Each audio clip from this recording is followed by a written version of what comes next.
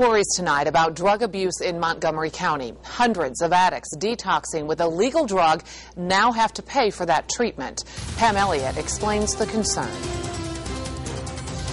So basically, the way I look at it is you're just putting the addicts back on the street.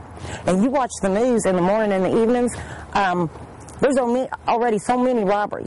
This woman did not want to be identified for fear she'd be cut off from her methadone treatment. If I can't get my methadone uh, after about the fourth day, um, I'm throwing up. I'm in the bathroom. My legs are kicking all night long, and it's about a two to three week process. She and hundreds of people are now having to pay $2 a day, up to $12 a week, for doses of methadone, known as an opiate agonist.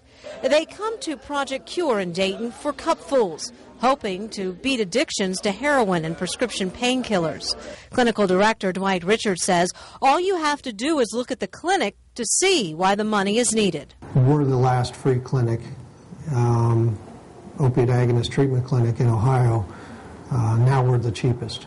Richard says two thirds of the clinic's funding comes from the Human Services Levy in Montgomery County. And despite the passage on Election Day, there are no additional dollars attached. Richard says Project Cure needs a new building to meet the increased demand. Without some additional funding sources, which, which we've been unable to locate, um, Project Cure is, is at, at some risk.